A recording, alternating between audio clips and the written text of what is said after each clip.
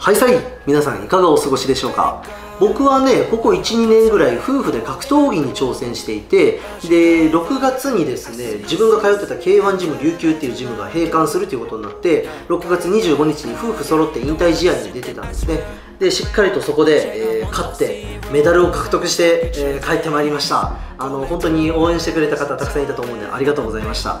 無事にね僕の格闘技人生は、えー、全戦全勝で終えることができてよかったなと思ってます。でその様子っていうのは中本夫婦の沖縄ライフ Vlog という僕の運営してる Vlog チャンネルの方にアップしていてまあこんな感じでね結構再生数も回ってるのでぜひあの感動の内容になってるんで皆さんも見てみてください。概要欄にリンク貼っておきます。はいということで今日はビデオブログについての話をしていきたいと思います。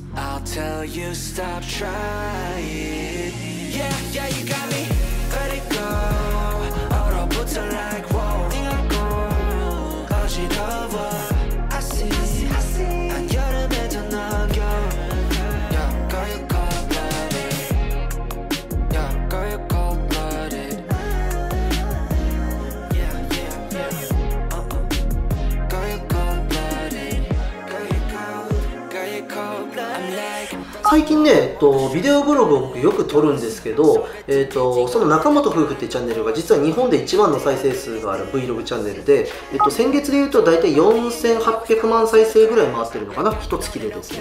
で、えっと、そのチャンネルの方であの使ってる機材何ですか？ってよく聞かれるんですけど最近ねめちゃくちゃ iPhone で撮影してるんですよ僕。本当にねちっちゃくてやっぱりコンパクトで撮影も普通にできちゃうしもう超重宝していてですね。そのさっき言った、えーと、格闘技挑戦のビデオブログそっちもほとんどこれで撮ってるんですよね。すごい時代です本当に。で今日はですねその、えー、iPhone での撮影まあスマホでの撮影ですね。そこに鬼に金棒という感じで、えー、こちらのインスタ360から出たフローというですね新発売のえー、スマホジンバルを紹介していきたいと思います。デザインおしゃれですね。全体的に白くてこう女性受けも良さそうなでそれでいてコンパクトっていう感じでね。でこの辺りなんかは最近こうトレンドというかあの流行り始めてるこういうスケルトンタイプですね。結構イヤホンとかも最近スケルトンタイプのガジェットが増えてるなっていう印象があります。このジンバルねこんなにコンパクトなのに終日バッテリーって言って一日中バッテリーが持つし逆にここからスマホに充電なんかもできたりするんですよね。でそれだけじゃないんですよ。こんなにちっちゃいのに大きくなるんですよ。この辺りはね後で紹介していきますからね。まずはねこのジンバルへの取り付け方なんだけどこれがもうね秀逸まず、えー、こうやって簡単にパコッと展開させますね。で展開すると勝手にスイッチが入ります。スイッチが入ったらですねスマホ。をはい。これだけで終了。カチャッとつけるだけ。これねマグネットタイプになっててこのキャッチャーにこんな感じでマグネットがついてるんですよね。でこれをただここにうんガチコン。はい、もうこれだけで OK っていう非常に便利な優れものですよね。で縦横の切り替えも切り替えボタンをダブルタップするだけでこんな感じで切り替えることができます。この辺りの機動性の高さがめちゃくちゃいいんですよ。で電源切るときは電源ボタンを長押しするだけで電源切ることができます。スイッチが切れたらスマホを外してジンバルを畳むだけ。はいこうしてスポッとカバンの中に入れれば OK です。もちろんポケットにも入るサイズ感です。iPhone と比べてもほとんど同じサイズですからね。これは便利ですよね。でこちらのスマートホイールの内部にあるボタンは電源ボタンの他にもカメラのインアウトを切り替えるボタンだったり録画ボタンも搭載されてますね。これでムービーを録画したり写真を撮ったりすることができますでモードの切り替えはねタッチ操作で切り替えることができるんですよね。このタッチ操作っていうのはこういう風にね指でこうなぞってやるわけなんですけれども物理ボタンっていうわけではなくてですねこれね若干内側のジョイスティックに干渉しやすいっていうのが欠点っちゃ欠点なんですけれどもまあかなり面白い新しい試みですよね。こう滑らかにこうやって触るだけで、えー、モードが切り替わります。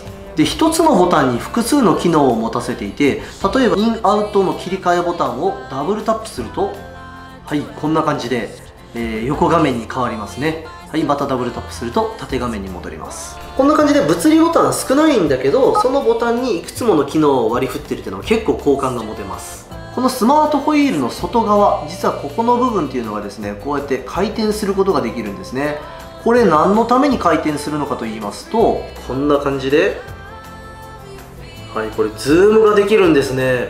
結構シームレスにずっとズームしてくれる感じなんですよね。ちゃんまり？あねちゃんまりですね。はいこんな感じです。いいですよねこのズーミング機能ねかなり。もう一ついい機能があってその名もディープトラックです。画面上の被写体を指でなぞるとその被写体を自動追尾してくれるんです。便利ですね。この映像もディープトラックでちゃんまりを追いかけてます。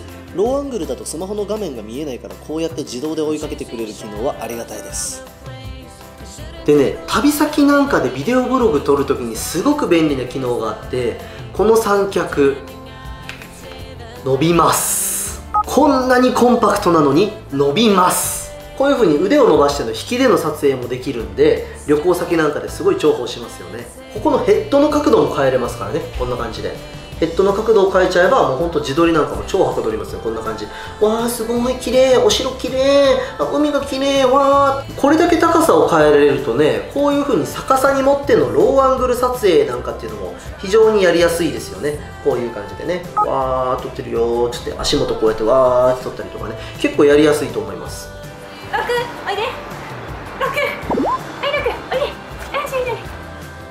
それだけじゃないんですよ。これも僕ねすごいなと思った機能なんですけどこれ見てください。今出てきましたよねここ。見ました？見逃さないでくださいよ。ほら出てきましたね。これ何かと言いますとまさかのですよ。まさかまさかのなんと、三脚が出てくるっていうね。これね実はありそうでなかったんですよ。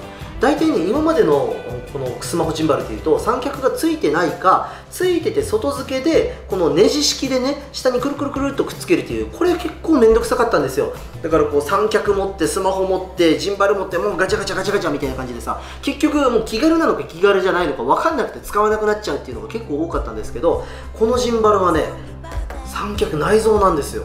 だから旅行先なんかに行ってこのジンバルでこう写真をね2人で撮ることもできたりするわけなんですよね。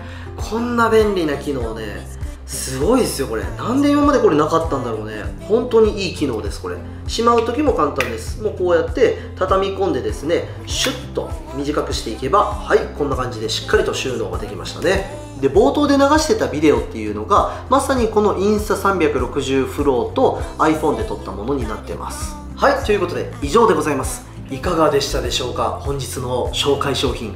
かなり優れものですよね。もう Vlog 撮るのにそんなに大きい機材っていらない時代になってきたのかなっていうのを本当年々痛感しますね。僕もよくスマホでビデオブログっていうのは撮ってますのでぜひ中本夫婦のチャンネルの方も概要欄に貼っておきますのでそちらの方見てみてください。